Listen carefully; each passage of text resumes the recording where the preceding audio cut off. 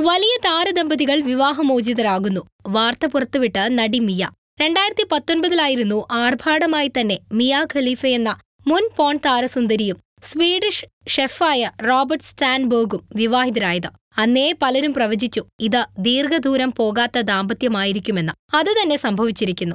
രണ്ട് വർഷം തികയുമ്പോഴിതാ മിയ പറയുന്നു ഒരു വർഷമായി ഞങ്ങളുടെ ജീവിതം കല്ലും കരടും നിറഞ്ഞാണ് പോകുന്നതെന്ന്. അവർ ഇൻസ്റ്റഗ്രാമിൽ വിവാഹമോചനത്തെക്കുറിച്ച് പറഞ്ഞതിങ്ങനെ. ഞങ്ങൾ ഇപ്പോഴും പരസ്പരം സ്നേഹിക്കുകയും ബഹുമാനിക്കുകയും ചെയ്യുന്നു. തങ്ങളുടെ വേർപിരിയലിന് കാരണമായി ഒറ്റപ്പെട്ട സംഭവങ്ങളില്ല. മറിച്ച് പലതരത്തിലുള്ള പരിഹരിക്കാൻ കഴിയാത്ത സംഭവങ്ങളാണ് ഉള്ളത്. യാതൊരുവിധ ദുഃഖമോ പശ്ചാത്താപമോ ഇല്ലാതെ ഞങ്ങൾ ഈ അധ്യായം അവസാനിപ്പിക്കുകയാണെന്നും വെവ്വേറെ ജീവിതം ആരംഭിക്കുകയാണെങ്കിലും ഞങ്ങൾ സുഹൃത്തുക്കളായിരിക്കുമെന്നും മിയ പറയുന്നു. പോൺ രംഗത്തെ രാജ്ഞിയായിരുന്നു മിയ. ലോകം മുഴുവൻ ആരാധകരുള്ള താരസുന്ദരി. ഐ എസ് ഭീഷണിയെ തുടർന്നാണ് പോൺ രംഗങ്ങളിൽ നിന്ന് പിന്മാറിയത്.